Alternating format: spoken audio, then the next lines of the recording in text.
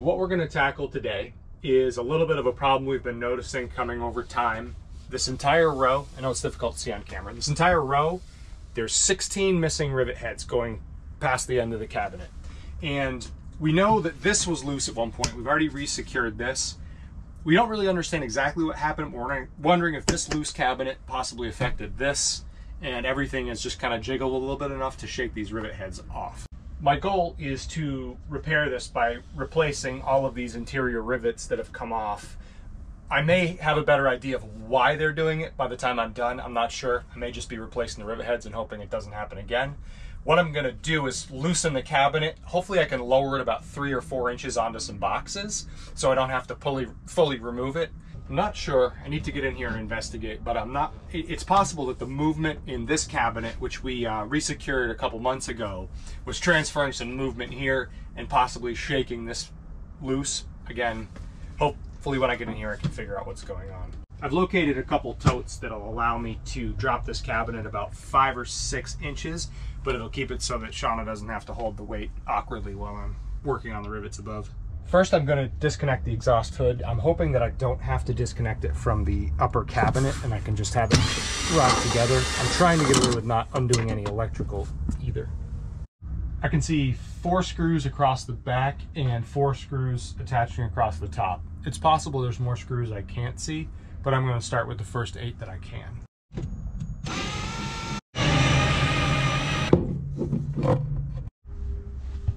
All right, there were no surprises there. It really was just the eight screws holding it on and there was nothing holding it to the next one over. So I've got my rivet line exposed and I'll be able to start drilling those out and replacing them.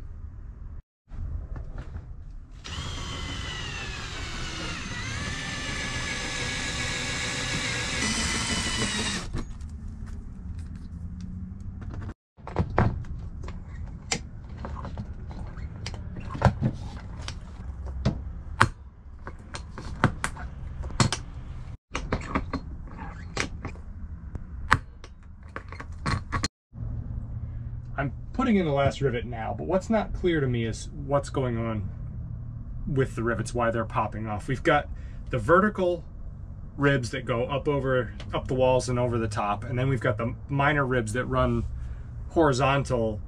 It seemed like there was a little bit of a gap between this sheet and the rib behind it. I don't know if that was enough space to allow movement or or what. I'm, I'm still unclear on why these are coming loose.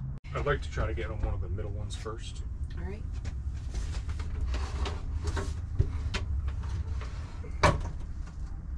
Uh, wait, we gotta make sure this plenum for the the vent is right. Okay. I think that's in there. Okay. I find it concerning that it's only eight screws holding up this giant heavy cabinet and that's without anything in it. Mm-hmm. It's not even lagged into the cabinet next to it. No, that surprised me. The lack of connection to the cabinet next to it.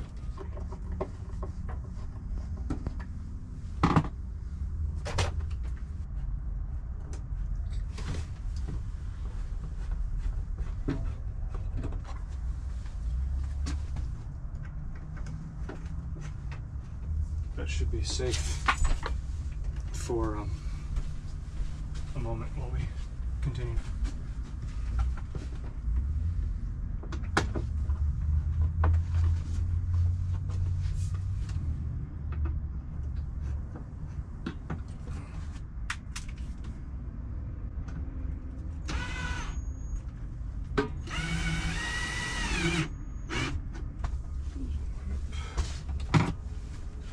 It's going surprisingly well with six out of eight screws in.